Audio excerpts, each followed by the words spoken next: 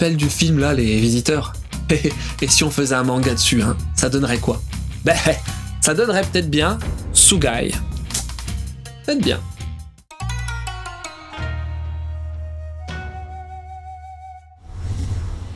L'histoire. Alors, euh, t'imagines un village un peu old school, genre euh, perdu dans les montagnes avec des légendes et tout et tout. Comme par exemple celle des deux jumeaux, nés pour séparer le matin et la nuit, Asa et Yuru. Asa, c'est la fille. Elle est enfermée dans une espèce de prison. Et Yuru, le gars, lui, c'est plus un chasseur. Jusqu'au jour où, dans ce petit village médiéval, tu vas voir débarquer des hélicos, ouais. Et des mecs avec des guns qui vont tuer quasi tout le monde. À cause de qui? À cause de quoi? Bah, des du jumeaux, hein Ouais. Ça sent le pâté, pas vrai? Tu veux des infos? Yomi no Tsugai, en France on l'appelle Tsugai Demons of the Shadow Realms, mais au Japon ça pourrait se traduire par Tsugai du monde inférieur.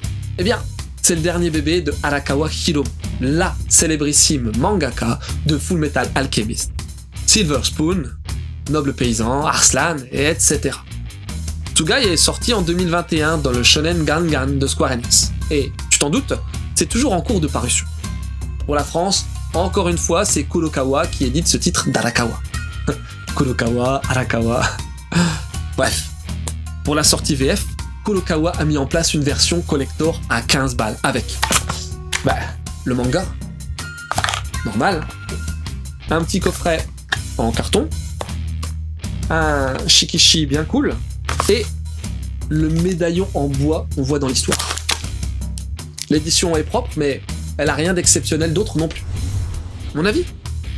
Bon, je respecte énormément le boulot de Arakawa Hiro. J'ai adoré Full Metal, Noble Paysan, j'en parle même pas. Mais il faut que j'arrive à garder mon objectivité avec ce Tsugai, qui est bon, y a pas à tortiller du cul. On a une entrée dans l'intrigue vraiment bien conduite, avec présentation du village, des persos, des us et coutumes. Le tout est distillé comme il se doit, avec encore quelques zones d'ombre oblige.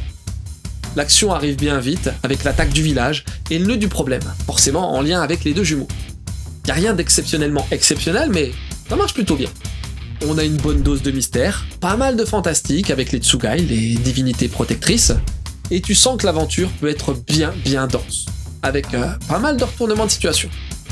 Le dessin est fluide, on retrouve avec plaisir la patte graphique caractéristique d'Arakawa, ainsi que son humour.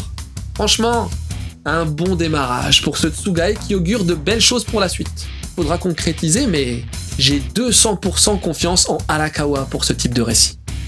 2000% même. Quelques conseils? Ben, Full Metal Alchemist, hein Comment faire autrement? Il y a Arslan, une autre saga Heroic Fantasy dessinée par Arakawa et adaptant un roman.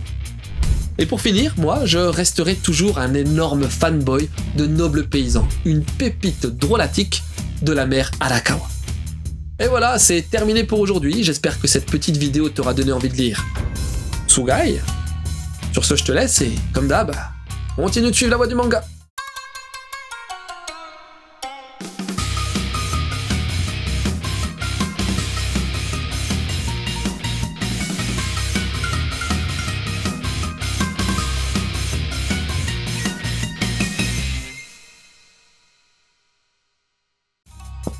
Franchement, avec ce pendentif, hein, je me prendrais presque pour Esteban hein, dans les cités d'or. Ouais, le fils du soleil.